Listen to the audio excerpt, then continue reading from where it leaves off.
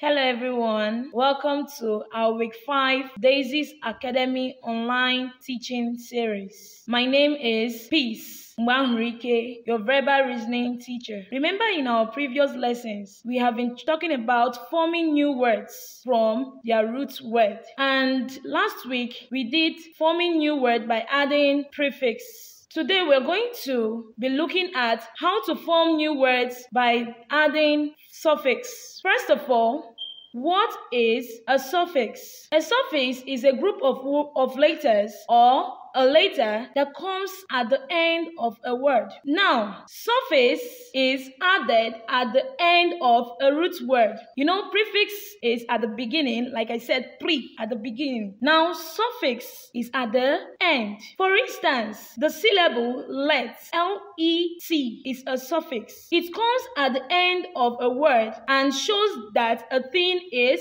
small. Example, we have booklets. That's a small book. Rivulets. The next one is hamlets, etc. Now, adding suffixes to the final consonants. Number one, when we add a suffix to a word which end in a consonant vowel consonant, we double the final letters. That's in spellings of in spelling of words, you notice that some words have consonant, vowel, consonant. Now, when you find such word, you double the last later. For example, we have clip, consonant, that's cl, vowel, which is the i, and the consonant again, which is the p. Now, for us to add the suffix to it, you have to double the last letter, which is letter p, before adding ing, clipping. Number two, in words of more than one syllables, when you have words with more than one syllables, where the last vowel is not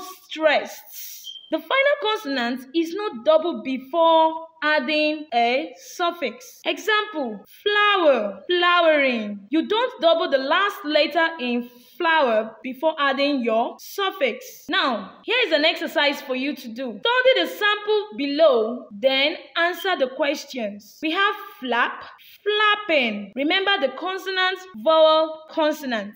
Flat.